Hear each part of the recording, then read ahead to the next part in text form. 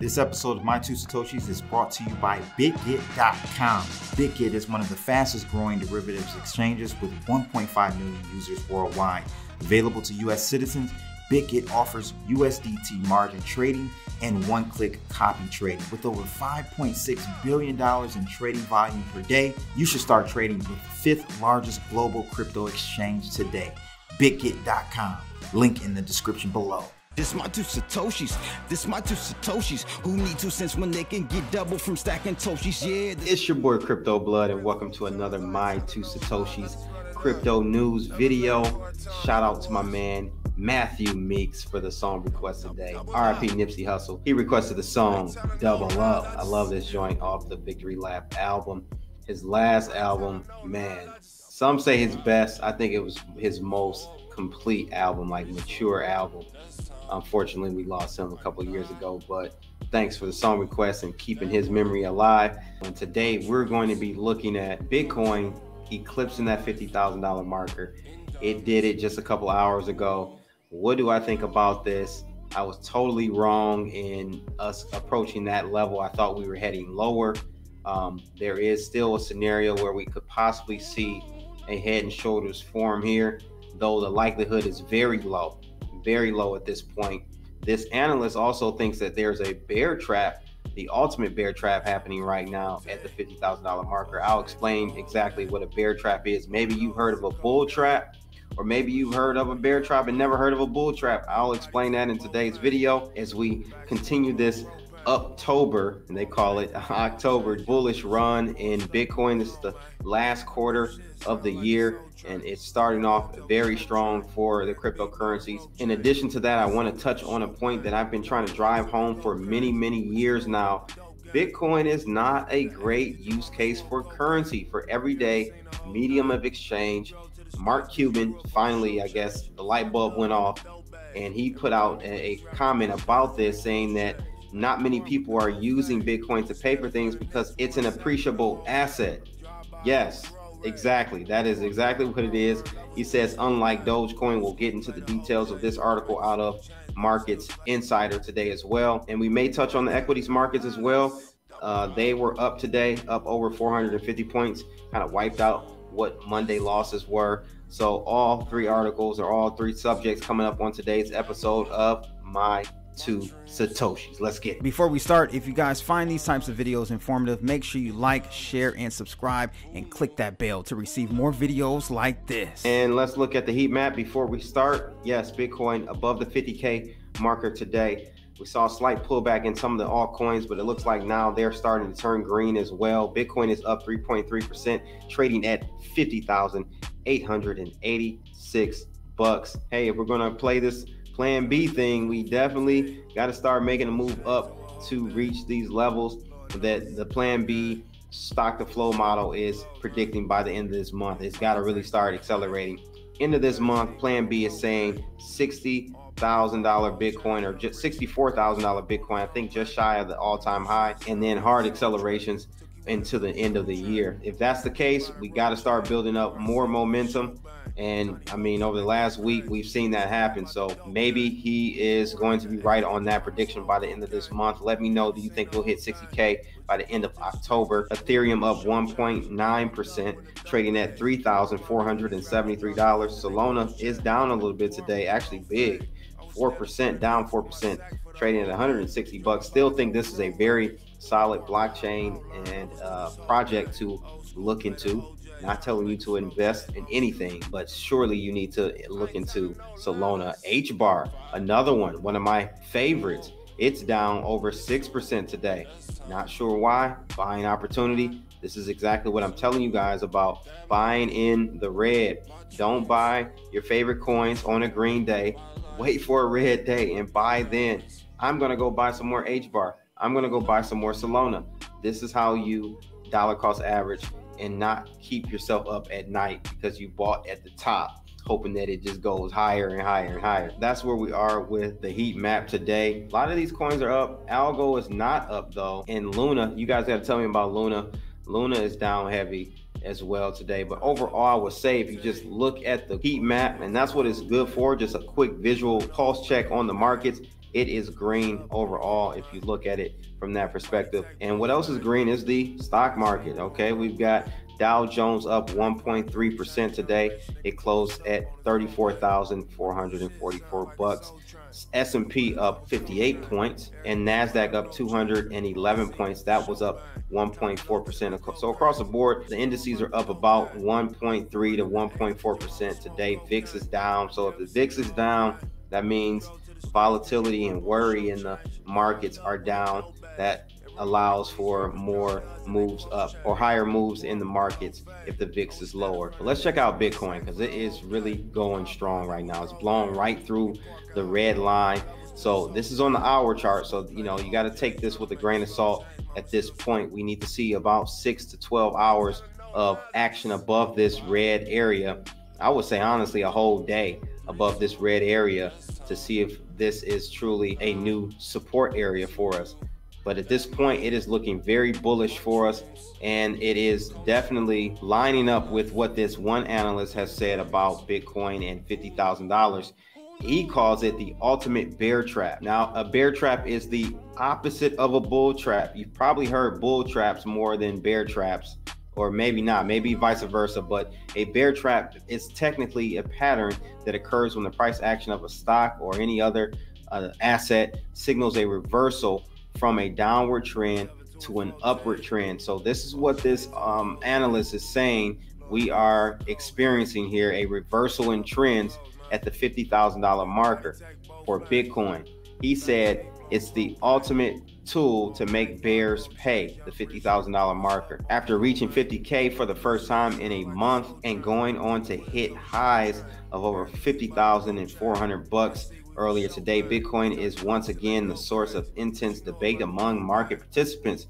So whether Bitcoin can hold the 50,000 and how far it could fall if not is the topic of the discussion today. It is longer time frames that are worth paying more attention to. So specifically, he says the weekly chart for the pair has formed a head and shoulders pattern, something which traditionally hints at fresh downside to come. This time, based on the most recent strength, is likely different though. Looks like the weekly head and shoulders was the ultimate bear trap, summarized by Rekt Capital. And this is exactly um, what I was looking at as far as when he said head and shoulders. I was very concerned about a head and shoulders formation that could have been, if you look at it hindsight, this is one shoulder, this is the head, this could have possibly been the uh, other shoulder. Or you can negate that last shoulder and maybe look at this as the head and shoulder um, for that pattern. I personally think it's too early to call. I'm just gonna be honest with you, it's too early to call, but it doesn't look like that head and shoulders. If I had to bet, I would say it is not going to form. And subsequently, we're going to see higher highs from here in the crypto markets, at least with Bitcoin. And then, of course, the altcoins follow. Analyst predicts more suffering for Bitcoin bears those are people that think we're heading lower in the markets. Ryan Cantering Clark said that this is a great time to sell Bitcoin if you want to buy back higher. Interesting. The greed fear index, as you guys know about, possibly, I don't know, maybe you do, maybe you don't, but this has just flipped back to greed. It just depends on your perception of the markets, and that's what exactly markets are. Everyone perceives a different type of outcome on a different timeline, different time frame and it, it has to all gel together and that is the ultimate direction we're going to go. It's all of those inputs all of those opinions coming together makes the direction we're going to take. Humans create the direction of any of these assets so just keep that in mind. Try to narrow it down and simplify it as much as possible.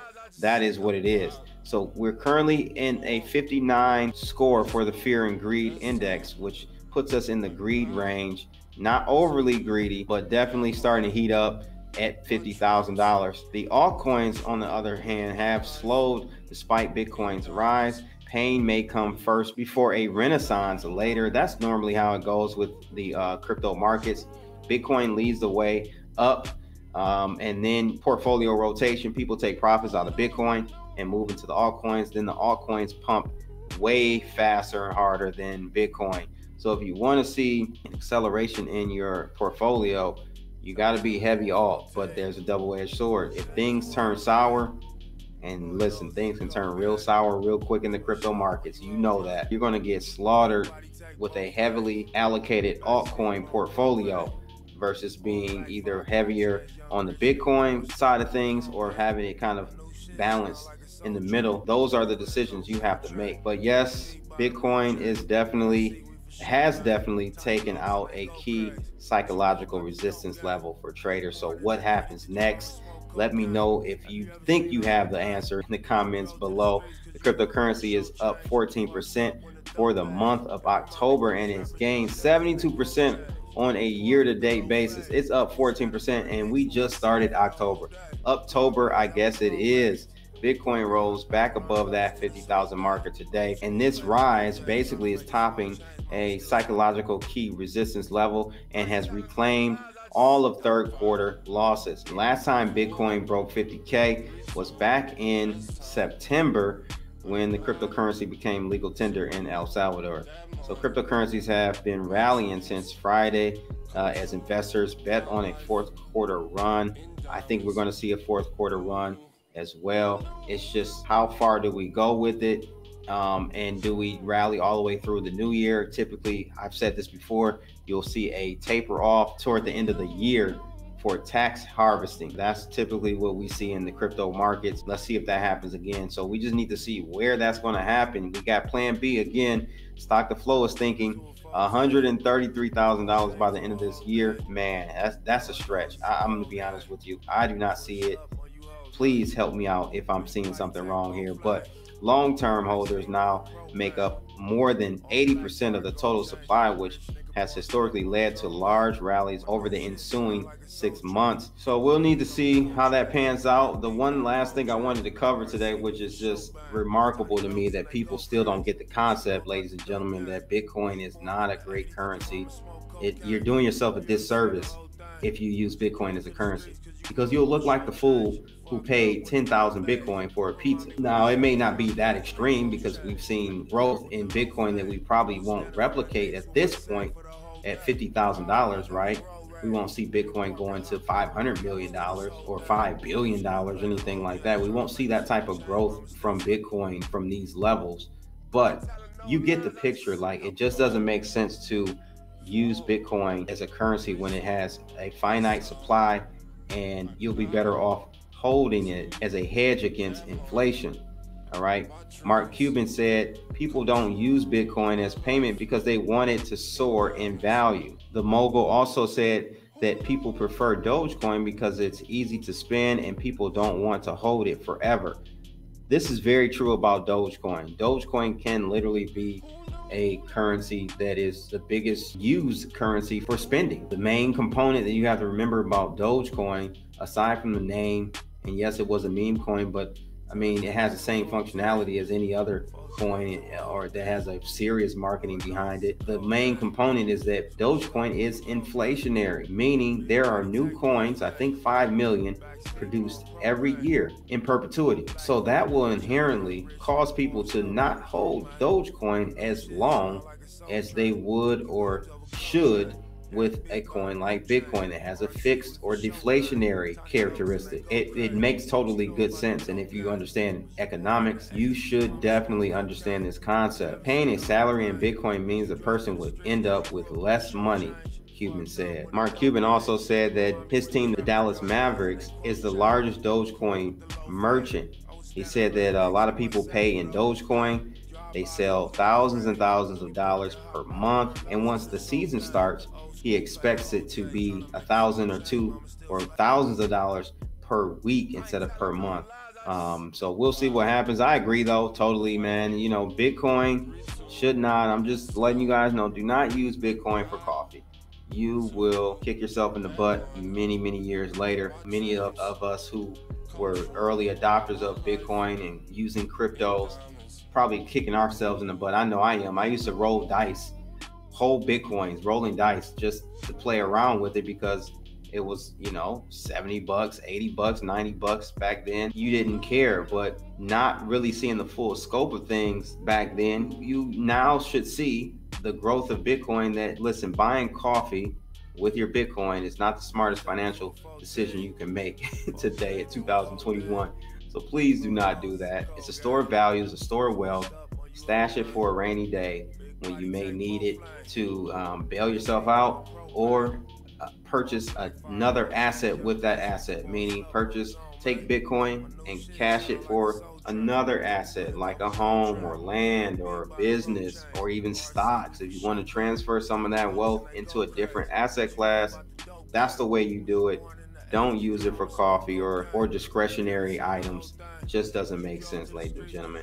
Let me know your thoughts though in the comments below. I would love to hear your feedback on this Mark Cuban opinion and also on this breaching of the $50,000 price for Bitcoin. Are we heading higher? Uh, how soon? Let me know all your details in the comments below. And again, shout out to my main man, Matthew Reeks, for the song request Double Up by Nipsey Hussle, RIP. Nipsey Hussle. If you found this video informative, guys, make sure you like, share, and subscribe. And click that bell.